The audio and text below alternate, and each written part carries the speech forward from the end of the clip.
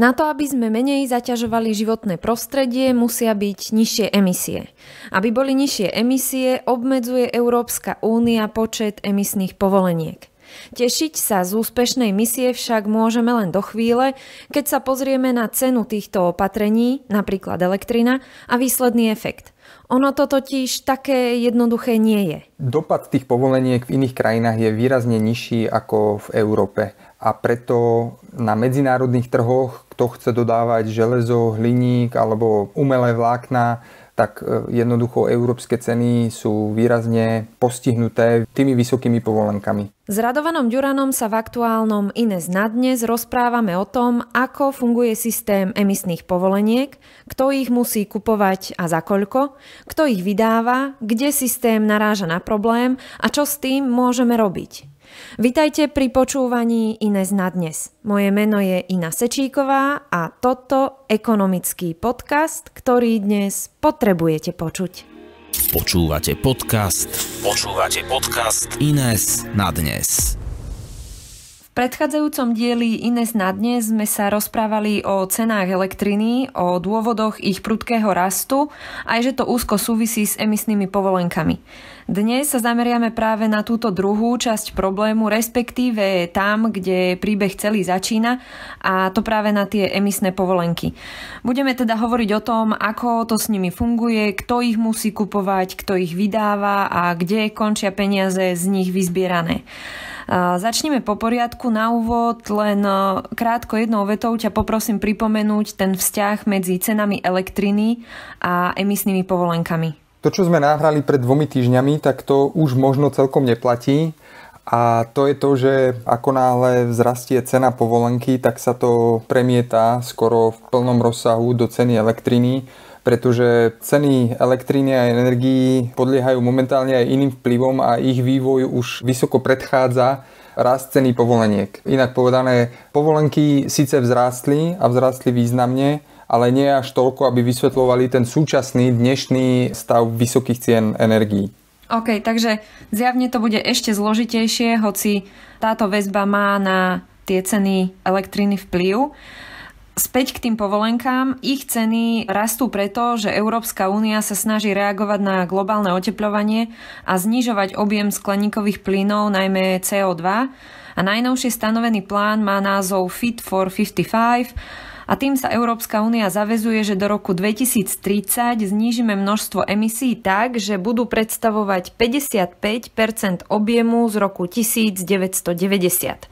No tento cieľ je rozhodne odvážny, čo je však kritické, tak to sú dopady týchto rozhodnutí v dnešnej realite, aj teda spomínané ceny elektriny, ktoré za posledný pol rok, iba pripomeniem, o čom sme sa rozprávali naposledy, vzrástli o 100%. A ako si aj spomenul, budú tam aj ďalšie faktory, ktoré túto cenu dvíhajú okrem emisných povoleniek.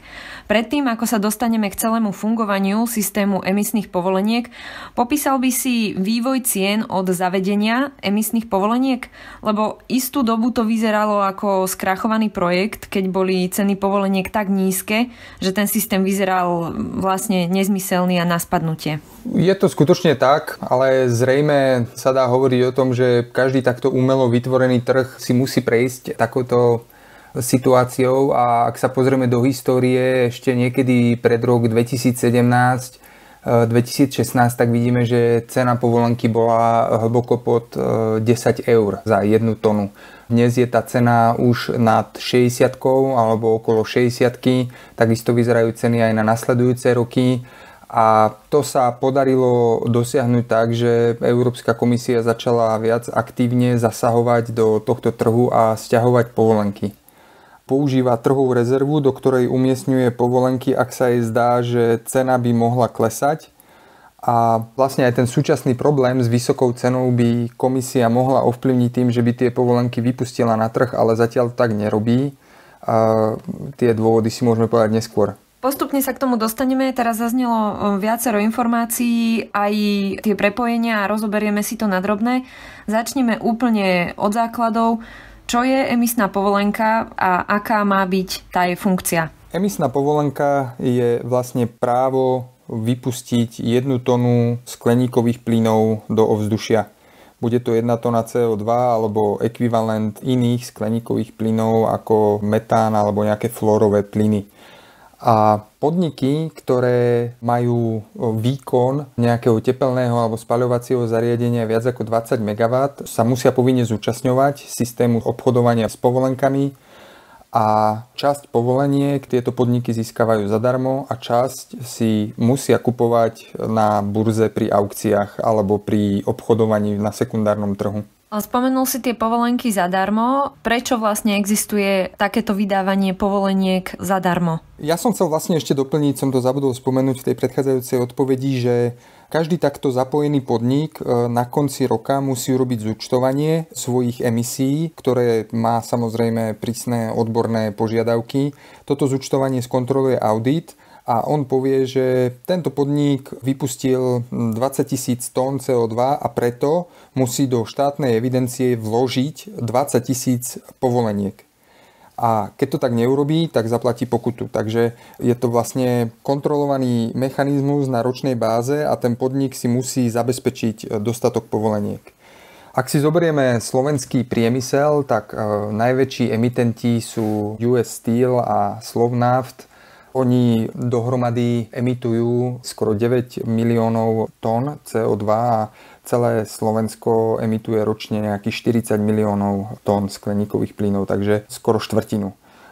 Keby si museli hneď kupovať všetky povolenky, tak e, by to jednoducho nedali, nedokázali by to premietnúť do ceny, na medzinárodných trhoch by boli nekonkurencieschopní a skrachovali. To bolo jasné už pri začiatku týchto úvah o povolenkách, ktoré majú možno už 20 rokov a preto bol vymyslený systém že tieto podniky budú dostávať časť povoleniek zadarmo a objem týchto povoleniek, ktoré dostávajú zadarmo, každý rok klesá, aby tak vznikala motivácia pre tieto podniky, aby produkovali e, s menšími emisiami.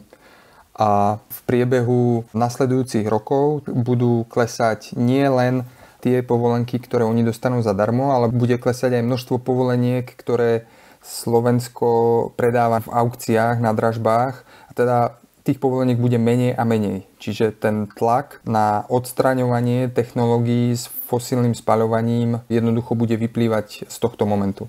Od koho dostanú tieto podniky povolenky zdarma a súčasne kto ich vôbec vydáva celkovo a potom ďalej už reguluje teda to množstvo? Na začiatku je dohoda krajín, ktoré sú v európskom systéme obchodovania s povolenkami ktorá stanovuje celkový počet povolenie, ktorý je rozpočítaný medzi jednotlivé členské štáty.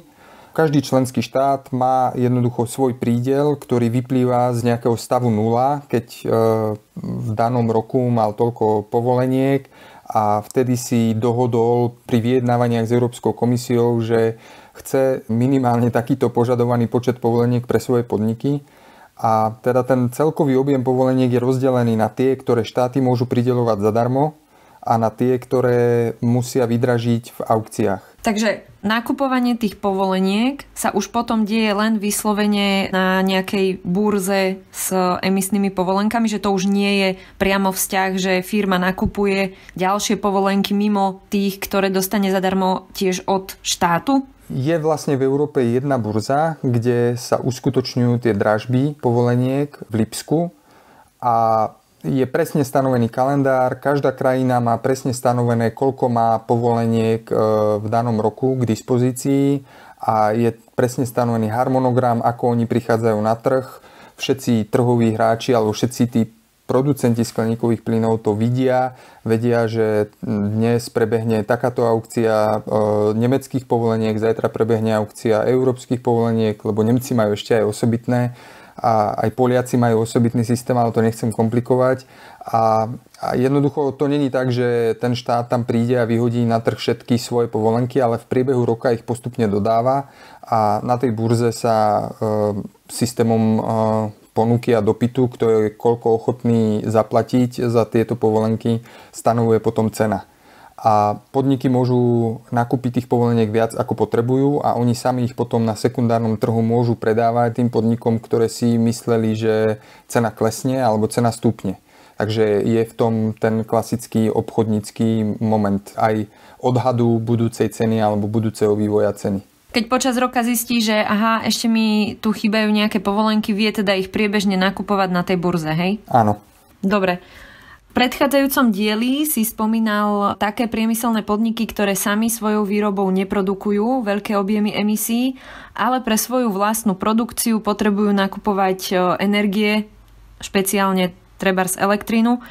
A je to tak, že títo tzv. nepriami emitenti si nekupujú emisné povolenky priamo, ale cena tých emisných povoleniek je premietnutá v cene energií, ktorú nakupujú. Áno, presne o to ide, že ak by sme sa pozreli na emisnú stopu elektriny, ktorá vzniká na Slovensku, tak tá je vlastne veľmi nízka, pretože väčšinu našej elektriny vyrobia jadrové elektrárne a Gabčíkovo, ale kvôli tomu, že cena vzniká opäť na nemeckej burze a v Nemecku hrá veľkú rolu elektrina z uhlia aj z plynu, tak v cene tejto elektriny, ktorá sa obyčajne používa až na konci, že vlastne ten trh má najradšej najlacnejšiu energiu na začiatku, ale tú špičkovú, ktorú treba doplniť e, ráno alebo keď priemysel zapína stroja alebo podobne, tak ju musí dodávať uholná elektrina, ktorá potrebuje povolenky. A práve tá posledná dodaná megawatt hodina, tá určuje finálnu cenu a preto slovenskí výrobcovia musia platiť potom takú istú cenu ako nemecký a tým vlastne vzniká to, že slovenskí výrobcovia v elektrine nepriamo platia náklady vysokej ceny uhlíka, i napriek tomu, že oni sami tie emisie nespôsobujú a nakupujú čistú elektrínu. A tie kompenzácie majú slúžiť práve na to, aby sa vlastne preplatili náklady na povolenky za uhlík, ktoré ten výrobca vlastne nevypustil. Áno, jasné. Tomu sme sa vlastne venovali viac e, do detajlov aj v tom predchádzajúcom dieli, takže odkazujem aj naň. Čo sa potom deje s peniazmi vyzbieranými z týchto emisných povoleniek? tak nejak logicky z toho vychádza, že už e, z titulu toho, že sú to peniaze z e, emisných povoleniek, by asi mali putovať na nejaké ďalšie znižovanie dopadov globálneho oteplovania? No toto sú dve e, veci. Prvá, tá technická odpoveď je taká, že minimálne 50% zdrojov z predaja emisných povoleniek by malo ísť na podporu zelených investícií to je jednoduchá odpoveď, avšak nedieje sa to. A druhá odpoveď je, že my vlastne dnes nevieme presne vyčísliť napríklad na Slovensku náklady globálneho oteplovania pretože nie každý rok je najteplejší. Častokrát sa stane, že ten rok sa nezaradí do prvej peťky. Napríklad tento rok bol mimoriadne štedrý na vláhu, že sme netrpeli suchami, takže ono je ťažké teraz definovať pre jednotlivé krajiny, náklady globálneho oteplovania. Ale myšlienka je taká, áno, že keďže je to akoby poplatok za znečisťovanie ovzdušia, tak tieto prostriedky by mali byť použité, ale opäť už tá samotná myšlienka, že tá podmienka je len 50%, ktorá má ísť do zelených vecí, tak je to ten problém verejnej správy, ktorá uvaluje dane a poplatky, ale nerada používa tie poplatky na ten účel, kvôli ktorým vznikli. Na druhú stranu to môže byť dobré, pretože teraz tá cena je tak vysoká, že štát by mal získať na predaji povoleniek 400 miliónov eur v tomto roku a toľko peňazí by sme nevedeli efektívne použiť na zelené projekty alebo zelené investície. Technicky sa teda tie peniaze dostávajú do rúk vláde. V prípade Slovenska, kebyže máme ísť úplne do detailu, tak tie emisie zabezpečuje Eximbanka, ale výnosy z predaja tých povoleniek končia na účte environmentálneho fondu. OK, tak ten systém sme už dosť do detajlov rozobrali, ako to s tými emisnými povolenkami funguje. A teraz k tomu, kde vzniká taký najväčší problém. No a to je fakt, že takto prísne emisné pravidlá platia pre taký akýsi mikrosvet Európskej únie a producenti inde vo svete túto záťaž v podobe takto drahých emisných povoleniek nemajú. Emisiami sa tam až tak netrápia alebo v neporovnateľne menšej miere. A takto vidíme aj vysoké ceny, spomínaná elektrina alebo aj plyn. No a európska produkcia potom na základe tohto nemá možnosť konkurovať svetovej výrobe, kde sú tie náklady nižšie. No a to ma privádza e, k úvahe, že čo teda s tým? A jednak, že hoci sa Európska únia bude extrémne snažiť a skutočne sa podarí objem emisí takto radikálne znížiť, možno dokonca neskôr dosiahnuť aj tú spomínanú uhlíkovú neutralitu, ale zvyšok sveta toto robiť nebude, tak síce logický výstup hovorí, že to vlastne nemá zmysel, lebo je to extrémne nákladný prístup, pričom emisie celosvetovo znížime zanedbateľne. Alebo ak by sme si to predstavili na nejakom jednoduchom príklade, tak by to mohlo vyzerať asi tak, že nakúpime skvelé zdravé potraviny, ale už si potom nebudeme mať čo obliecť, lebo na oblečenie nám už peniaze po takomto drahom nákupe nezostanú. No a potom je tu druhá strana celého problému, že vieme, že životné prostredie si zníženie emisí vyžaduje. Vidíme tie zmeny v klíme, počasí a zasahujeme do toho prírodzeného ovzdušia. No ako by si zhodnotil celú tú situáciu, ktorá takto vznikla a dá sa povedať vôbec, že čo sa s tým dá robiť? No, to bol pomerne e, široký úvod. To bol. E, ja len doplním, že v schémach obchodovania s emisnými povolenkami, alebo tie sa vyskutujú už asi v 24 verziách, pričom existujú aj mestské schémy, dokonca Tokio a Peking má vlastný systém obchodovania s povolenkami, ale je pravda, že európsky trh je ďaleko najväčší a ten systém obchodovania je najrozsiahlejší a má určite najväčší vplyv pravidlá pre emisie fungujú aj v Číne a nejakým spôsobom sa sprísňujú, pretože aktuálne Čína čeli obrovskému nedostatku elektriny práve kvôli tomu, že obmedzujú emisie uholných elektrární i napriek tomu, že tam každý mesiac otvoria dve, tri nové uholné elektrárne. Ale dopad tých povoleniek v iných krajinách je výrazne nižší ako v Európe a preto na medzinárodných trhoch, kto chce dodávať železo, hliník alebo umelé vlákna, niekde v Afrike, v Ázii, tak e, jednoducho európske ceny sú výrazne postihnuté tými vysokými povolenkami. Vidíme to aj na výrobe hliníka, jej veľká časť sa presunula do Číny, myslím, že už 11-12 podnikov to zavrelo v Európe a aj veľká časť e, ocele je už dovážaná z Číny a za tým sú samozrejme aj iné faktory, aj cena práce, aj iné environmentálne štandardy, ale aj tá povolenka v dnešnej dobe znamená pre mnohých výrobcov to rozhodnutie, že či majú odísť, alebo či nie je pre nich jednoduchšie dovážať tie suroviny zo zahraničia. Tento problém pre vnútorný európsky trh by malo v blízkej dobe riešiť e, dovozné clo, uhlíkové clo, to znamená, že železo, hliník alebo ropné produkty, ktoré budú vstupovať na európsky trh, tak budú automaticky zaťažené pre tých importérov cenou povolenky a tým sa bude snažiť Únia vyrovnávať podmienky pre domácich a zahraničných producentov. Ale to nám nepomôže na tých zahraničných trhoch. Exportéry Áno, mimo presne. Európskej únie budú mať vyššie náklady a nebudú pravdepodobne schopní konkurovať e, zahraničným producentom, ak oni budú mať nižšie náklady a môže to viesť k tomu, že e, časť výroby sa presunie opäť niekam inám a tu ubudnú pracovné miesta a príležitosti, ekonomické príležitosti v týchto sektoroch. Tak ja sa ešte vrátim k tomu primárnemu cieľu, prečo vôbec vznikli tie emisné povolenky, čo tu práve teraz sa snažíme riešiť, že cieľom je znížiť emisie a hľadáme teda, alebo Európska únia hľadá cestu, ako to urobiť a zvolila cestu cez emisné povolenky. Vidíme tu tie problémy, a, tak e, ako na to, že aký tam môže byť iný spôsob riešenia, ak e, tento má tak veľa problémov. Lebo ono je to vec, ktorú si to životné prostredie nevyhnutne vyžaduje riešiť, lebo vidíme, že naozaj ho ako ľudstvo a, ničíme.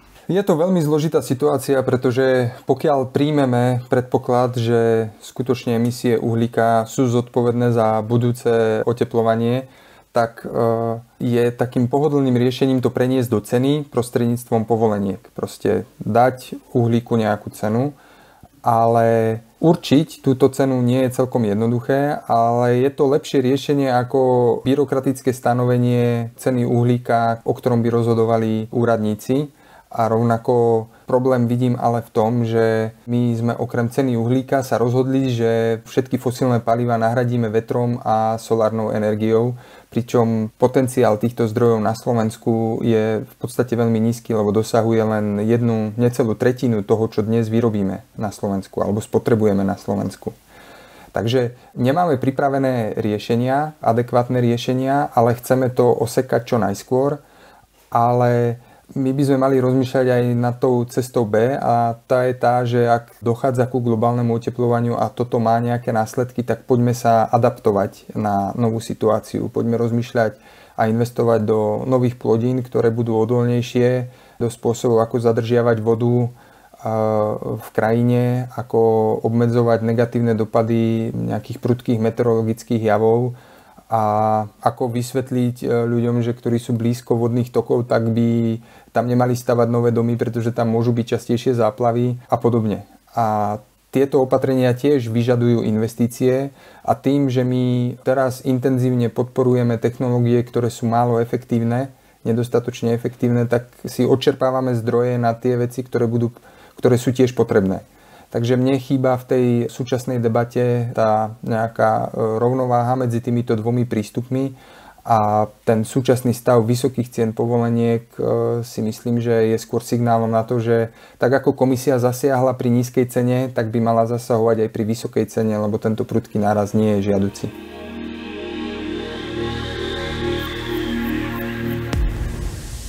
Sme radi, že ste si na svojich 20 minút vybrali práve tento podcast.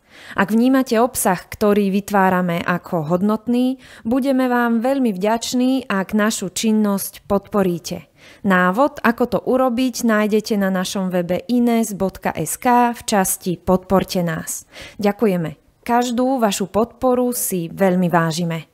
Počúvali ste podcast Ines na dnes. Všetky ďalšie diely nájdete v podcastových aplikáciách a na YouTube kanáli Ines.